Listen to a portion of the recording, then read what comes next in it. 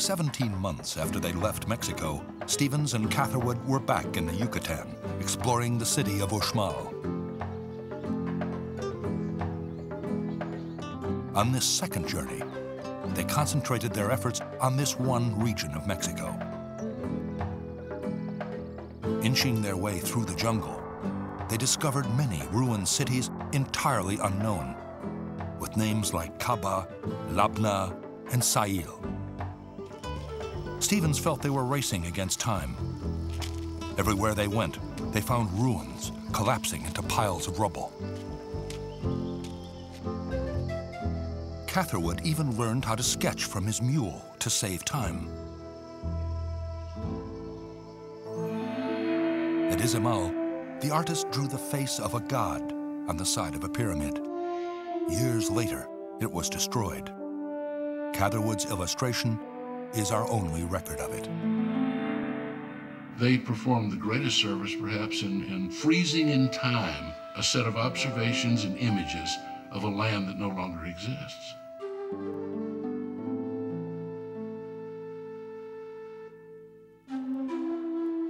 They're romantic pictures, yet at the same time, they're remarkably accurate. Many of Catherwood's renderings, for example, of the Maya at Uxmal and at Labna and other sites, are the first depictions that we have of what Maya people looked like. We have no earlier record. In the town of Bolonchén, the explorers visited an ancient well deep underground. Catherwood was so inspired, he began his memorable sketch at the foot of the ladder. It was the wildest setting that can be conceived. Men struggling up the huge ladder with earthen jars of water strapped to back and head, their sweating bodies glistening under the light of the pine torches. One of the last places they explored was Chichen Itza.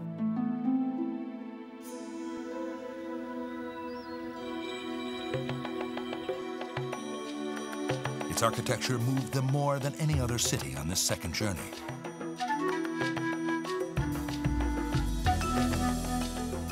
Most exciting of all was the revelation that this city had been linked to Copan and Palenque, hundreds of miles away. It was the first time in Yucatan that we had found hieroglyphics sculptured on stone, which beyond all question bore the same type with those at Copan and Palenque. If one could but read it.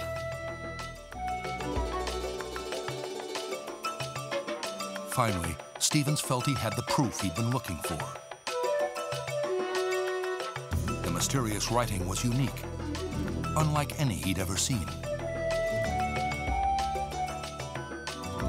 Now, he could convince the skeptics that the ruined cities had been built by Native Americans. These ruins are different from the works of any other known people, of a new order. They stand alone.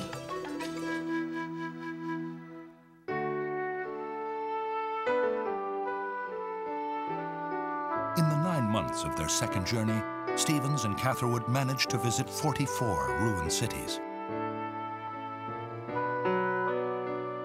Gather some treasures for an exhibition on their return.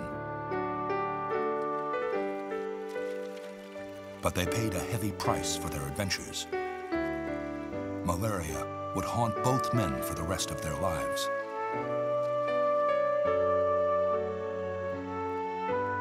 John Lloyd Stephens would fight the dread disease for 10 years before succumbing to it in 1852. Frederick Catherwood would die tragically a few years later in a shipwreck. This is the only image we have of him.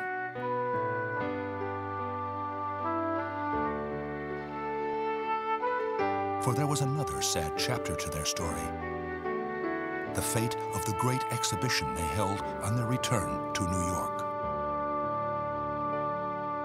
This fire started one night in July of 1842 and literally overnight wiped out the physical originals the, the drawings, some of the archaeological stuff, the limestone carvings that they had brought back at great labor. Thank goodness for the books. And I thank the fates every day that somebody at Harper and Brothers Publishers in New York had the foresight to heavily illustrate the book because what a shame if the drawings had been lost. Fortunately, before he died, Catherwood issued exquisite folios of some of the drawings. They inspired generations of explorers to follow the intrepid pair to the land of the Maya. But Stephens' insights would have a different fate. His greatest intuition, that the Maya had written the real stories of their lives on their monuments, would be ignored. The legions of archaeologists who came after him were able to decipher some of the glyphs, but only those that spoke of numbers, dates, and the stars.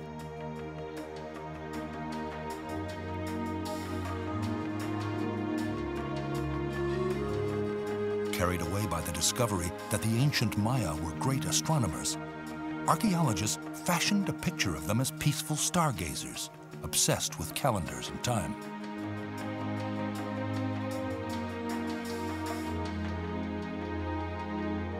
When John Lloyd Stephens had looked at the monuments, he had seen real kings and queens.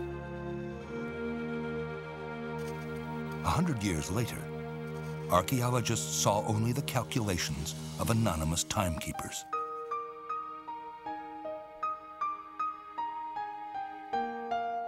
It would take a fresh set of eyes to finally unravel the secrets of Maya carving and prove that Stephens was right.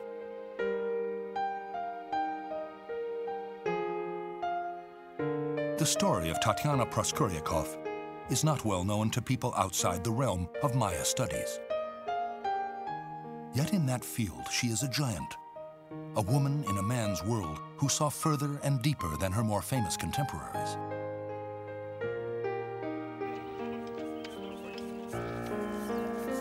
What we know of the ancient Maya today, the exciting revelations emerging from dozens of excavations, is built on her work. Speaking of Copan, she was the first to describe its ruins as a puzzle. And she was the one who supplied the missing piece.